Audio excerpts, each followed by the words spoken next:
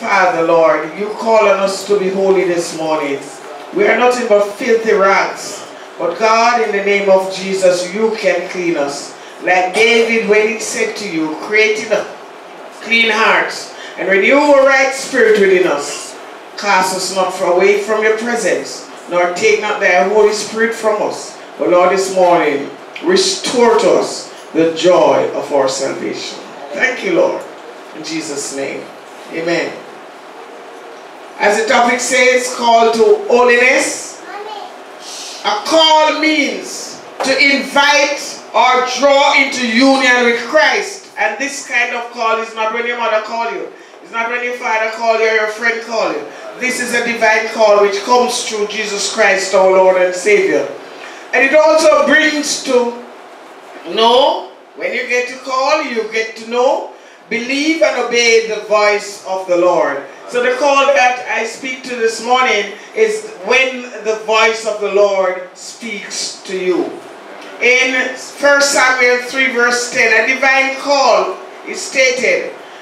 Samuel said, the Lord came and stood and called as at other times. Now Samuel was a young man and the Lord called him from a very tender age. He did not understand the call of God. But at this time, he thought it was his mentor who was calling him Eli. And he went to him, but it wasn't Eli. Eli said to him, go and lie down, and if you hear the voice, this is what you're to say. So Samuel, then Samuel answered, and what he answered, he said, Speak, Lord, thy servant heareth. This morning, brothers and sisters, we need to listen to hear what the Lord is saying to us. All of us have talents, all of us have abilities, all of us are endowed with gifts, but are we using them to the glory and the honor of Almighty God? Let's do reflection. Let's do stock taking this morning. Am I really doing what God wants me to do? Or I'm just doing what I think I should do? This morning, the other word is holiness.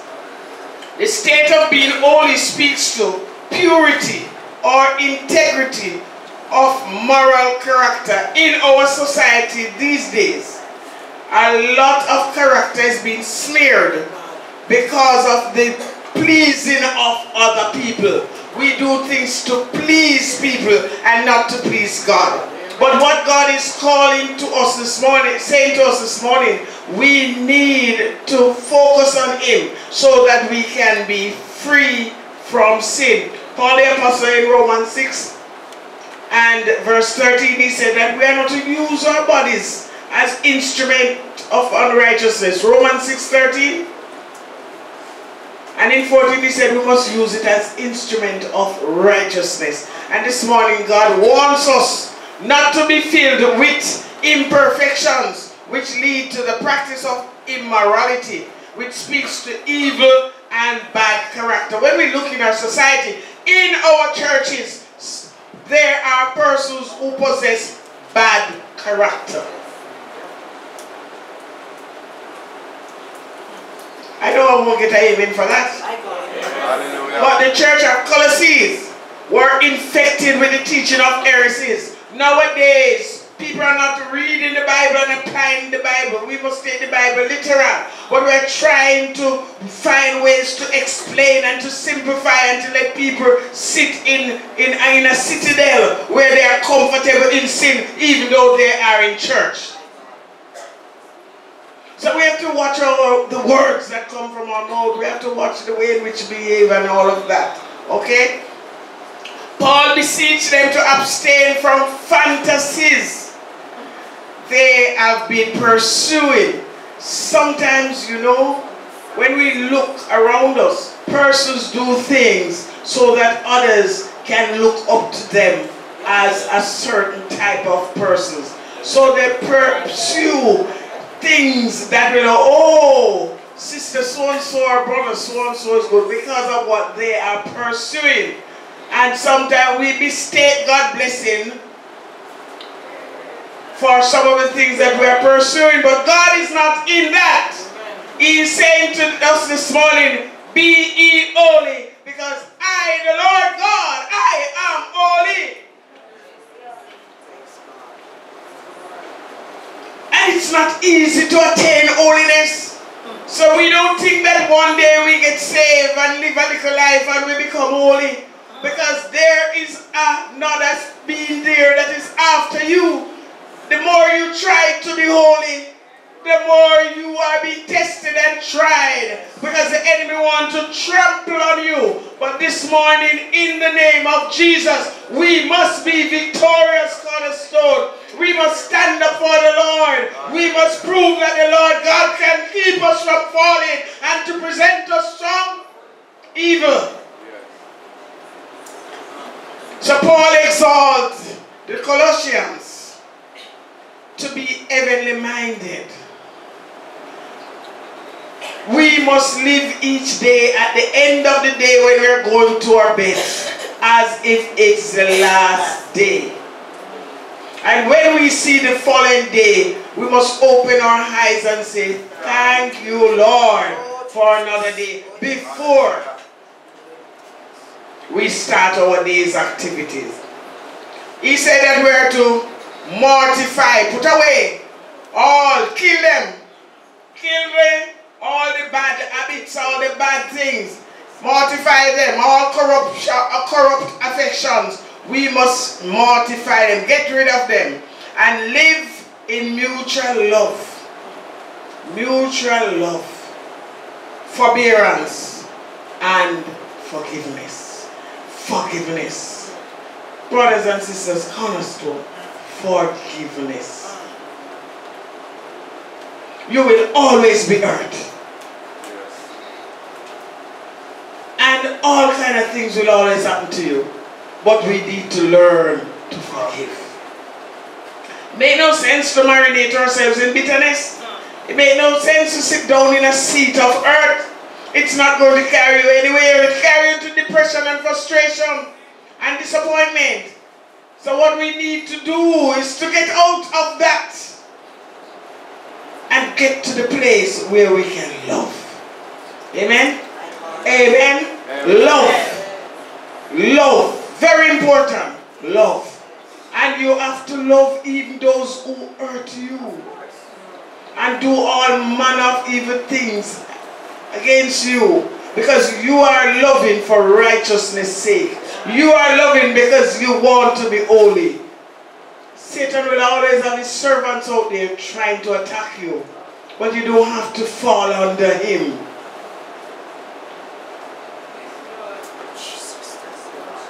Some of the things that are spoken of is the immorality that is affecting us daily. And I point out one because today is supposed to be Youth Day. So I assume we were having young people here this morning. But look here, there are young people here still. And I want them to know, and us as adults need to be reminded of these sort of things. Because we are not all that perfect, eh? Oh no. So why, why does Reverend Marshall want to speak about sexual immorality? Because it's full in Jamaica. And it is coming. And I want the adults to be able to teach the young ones that they must flee from these things and don't be entangled in them. Because there is a set of adults getting to the younger ones and having them becoming their disciples. So parents, you ought to teach your children. That is why God said to the children of Israel, you have to teach your children. When you walk with them, teach them. When you lie down with them, teach them. Put it up on the doorpost, put it up on their bed. Everywhere that the word of the Lord is always there. Sexual immorality, fornication. Nowadays it appears as if sex is just an activity, so you just have it. It is not like so. The body is a temple of the Lord. So we don't go around dashing our bodies around as if it is nothing. That's the only thing you have for yourself. And you have to take care of your body. So it can't be just thrown away. I want to say Tom, Dick and Harry, those names not given these days again. So you can't give them all on. And you just rush on and you can't bother give unto Tashika and Tamika uh, and all those names. You see? But fornication, young people, is sex before married. God has instituted sex for married people. Yes, many are fallen already. All right, fine. But know that you're in the house of the Lord. No more fornication. So sex outside of marriage between people who are not married, it is classified as fornication. Then we look at adultery, where people have extramarital affairs outside of their marriage. Brothers and sisters, if your body is a temple, you can't have your body just like give it away so. It has to be that which you keep for yourself and the Lord. When it comes to the time when he provides who he wants to provide for you, he knows that that other party becomes a part. But right now, if you're married, you don't need nobody more than the one somebody where you have.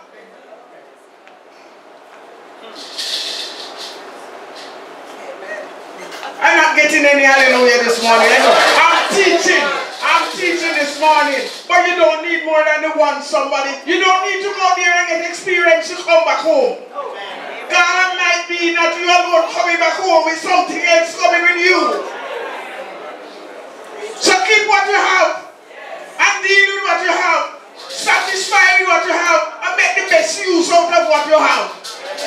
You're not no better than their junk shop. So you might as well keep it. Alright? Praise the Lord.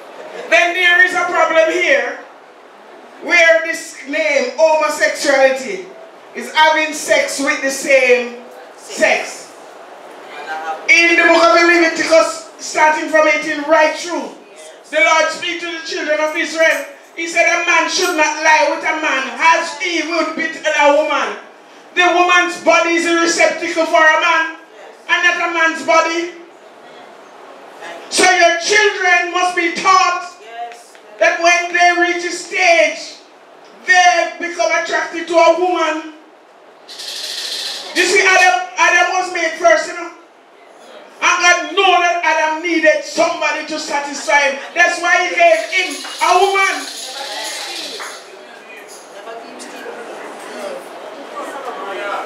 I am saying this because I, you see those glorified children you have at home? You don't know what they're doing out there. You don't know who is after them. So you have to teach them morning, noon, and night that these things are wrong. That's right, sister. And if we live in Jamaica, I want to put this in. Those who have children who are 18 and over and have not been remunerated to vote, it's time to send them to go and vote. Because when a referendum is being run, all when you're going to say, no, it's not right, you don't have a vote. So those who have a vote and want it, they will vote it in. Church, come on, let us be wise. My God. This is not a JLP and PNP business, you know, when a referendum coming up. It is a sin business. And we have to beat out sin out of society. So your children are there, once they are 18, tell them go and remunerate, or you take them, carry them, let them get remunerated. Because when the time comes, you don't have a vote to vote against it. So those who are with it have vote because they are trying their best. So we have all kind of things coming upon us, brothers and sisters, and we need to be wise. Children of God, you need to be wise.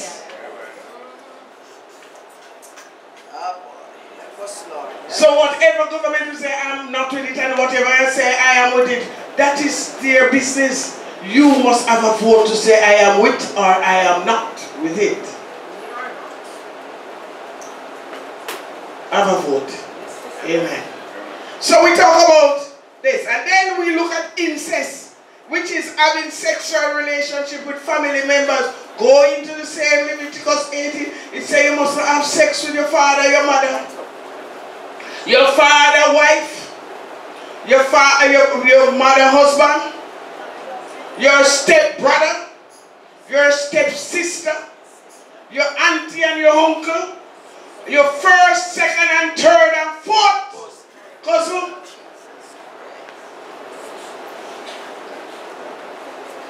If you're married two cousins, you know, then lock up the marriage officer. So incest must be wiped out of family. There are some family that are very, very incestuous. Yes. But it must be wiped out. And once you know about it, you must put a stop to it.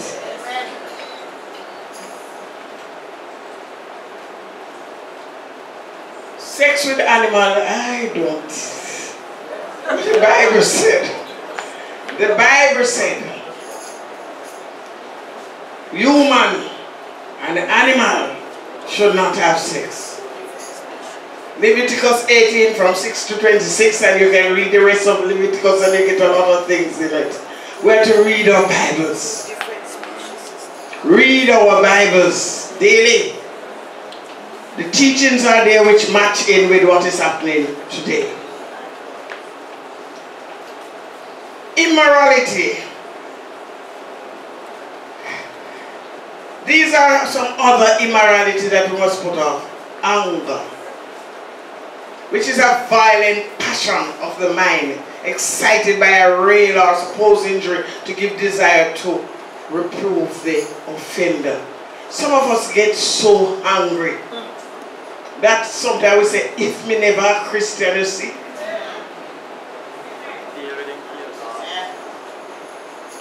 I know this is a teaching morning. This is not a morning to jump But God said, be holy. And sometimes the anger that stirs up inside of us, even if you don't say it out, it is there. What you would have wanted to tell somebody, it is there. And all the plan, if I never a Christian, why would I let them down? And what I would do, and all these sort of things, the anger is there. The other day I was reading an article, the woman husband came home. The man had been working overtime to carry her on the wedding anniversary. And he came in very late that night and she told him to go sleep on the couch. I hope no wife not send husband in a couch. I hope no wife and husband are sleeping until I hope no wife and husband are turned back on one another. When the man just married and so now hug up and blow in one another face, what happened? Breathe that low. Breathe that low.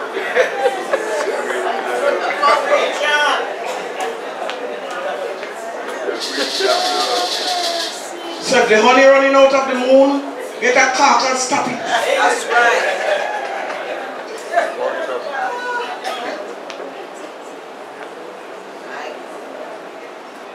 The Bible says, let not your wrath, the sun go down in the evening, and the wrath. And the other word is wrath. Extreme anger, which may even cause murder. It's anger in Jamaica that cause all these murder, you know. And all of a sudden, if somebody is, is angry with somebody, it's just killed. Because of extreme anger. There's a set of persons who have this pent up anger inside of them. And then it becomes so tense that, yes, thank you, Sister. They become so tense that they have to demonstrate how they are feeling. And they explode, tell words that the other one would not want to hear. Some are abuse, physical abuse take place. Emotional abuse take place. Because of what? Extreme state of anger. Filthy communication is the next. Expletives. Some of us as Christian have some word we need to trim off. You might not think that they are, and I told you before that my brother-in-law get off one day at the business place and my niece and nephew came and said, Mommy, Daddy cuss some bad word today. Mommy, I know the Christian one them, you know.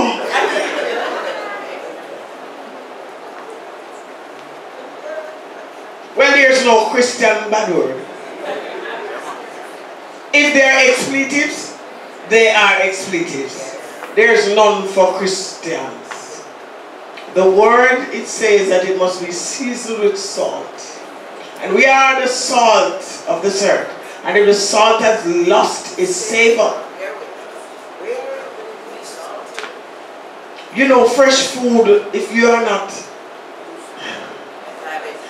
accustomed to eat food without salt, it doesn't taste good. If you are not accustomed to drink tea without sugar, it don't taste the same way. But I want to say that if we are the salt and the light of this world, our communication must be at the standard where in which the other person can say, oh, she's really a child of God. Amen? Praise the Lord. Then malice is a behavior that is intended to harm people or their reputation or cause them embarrassment and cause them to be upset. We know that definition don't fit the kind of malice we want. Let I put it there because there's a kind of malice we exists even in the church. Yes, sister. You don't want to talk to the sister. But if somebody asks you, have you seen Sister Rickman? Yes, she over there, so. But you're not going to call Sister Rickman to say, Sister Rickman, Sister Joyce wants you. You're not getting into it because you're on Sister Rickman. Not they on good terms. Because Sister Rickman did tell you the truth. The other thing about it is that we hear things about people, we don't find out the truth about it. And we just cut off from them because of what the other party say. Those who are trying to abuse one's reputation by carrying on communication that is not complementary to the person's lifestyle. Let us stop it now. Let us stop it now. It's not everything we hear. It's perfect gospel. It's not good to repeat. Brothers and sisters, the Lord is calling us to holiness, you know. And some of the, the things that we think are little, they keep on piling up and soon become high as Blue Mountain Peak. And when it becomes like Blue Mountain Peak, it's hard to move it, you know. And even when you are speaking and saying the name of Jesus, mountain be moved. It's not easy to bulldoze at the Blue Mountain Peak. Not even Breton Hill, you can't do it. So it's important that daily you will be offended. Things will happen that affect you. But in the name of Jesus, we still have to forgive. Yes. And we still have to love. And we still have to care. So cornerstone, I am saying to you, you're a loving set of people this morning. You're quite a good support team. Let's keep the spirit. Amen? Let's keep the spirit. Then we look at morality in the Lord's house. He said that we are to put on therefore as the elect of God, holy and beloved bowels of mercy. Something happened to somebody, we feel it because we are part of the body. And even when the person is in the wrong, because of mercy, mercy know that the thing is wrong and we should have been punished. But mercy says, no, give some grace. And that is what we must do. Because when we harbor these things, you are there hurting because of what you think. Because sometimes you don't know if that is how the person meant. And you're hurting and the person is over there laughing and enjoying life. And you're over this sad and disappointed. Because the person, sometimes people don't even know that what they did hurt you. is why they are enjoying life and you sit there wallowing into the hurt. It is time to stop feeling hurt. And if somebody affect you, let the person know how you feel. And you would be surprised to know how that loosens you. Okay. Then also kindness. All the people who are in this support group called kindness. Oh, you're not kind. Some don't even remember what group they are in. Oh, you're not, oh, you're Be kind in one to another. Kindness. You're not kind. And kindness is not to give little dinner or to give a thousand dollars. Kindness go far beyond that. Far, far. Sometimes kindness causes you to give up all that you have. Because of kindness. Humbleness. Some of us are very haughty. But there comes the 30th of, of July when we are going up the road to pray. And then we see who want to pray from who's haughty not want to go up there let anybody pass and see them. And who going to stay home because they might go pray up the road. Well, whether you want to come or not, in the name of Jesus, we're going up there. Amen? Amen. Praise his name. And also, humbleness of mind, meekness, these are things that we have. And nobody wants to talk about long suffering, but you're suffering very long. Hmm? All right. Okay.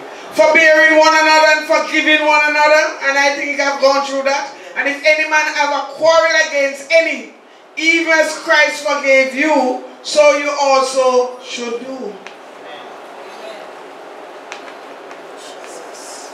If you are striving towards holiness, I want to tell you, a person hurt you, and you know say you right.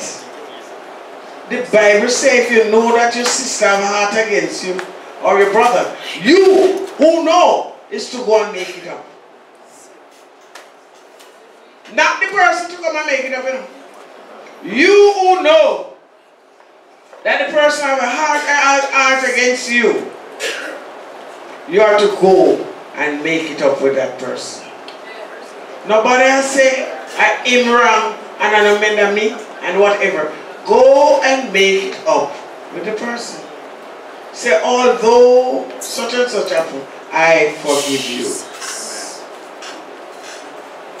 I had to do it before I can tell you. And when you finish, tell the person you're sorry. Done with it, mama.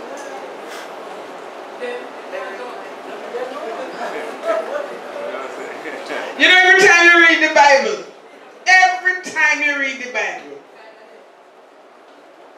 every time I read the Bible, I cannot acknowledge.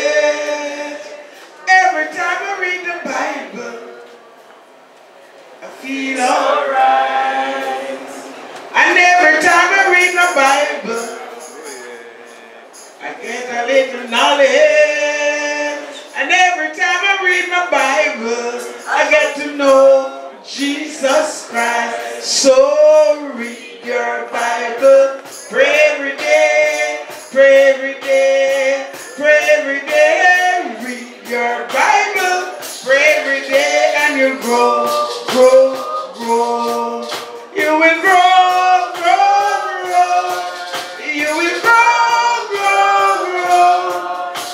Read your Bible, pray every day, pray every day, pray every day. Read your Bible, pray every day, and you grow, grow, grow. He said above all things, put on charity. What is charity? Love. love And he keeps on telling us some morning that we're to love. Amen? Which is the bond of perfection. And he said, Let the peace of God rules in your heart, to the which also ye are called in one body, and be ye thankful. This morning, the Spirit of the Lord is saying to us, we need to go into a time of confession. We went through a week of prayer emphasis, and I don't know how many persons were involved in that week of prayer. But there were so many things that were existing in our lives that we need to put to the Lord, added to those things that were listed and given to us to pray. But this morning, the God who I serve and the God who you serve is saying to us this morning, be ye holy. For a moment, let's bow our heads as we reflect on our individual life.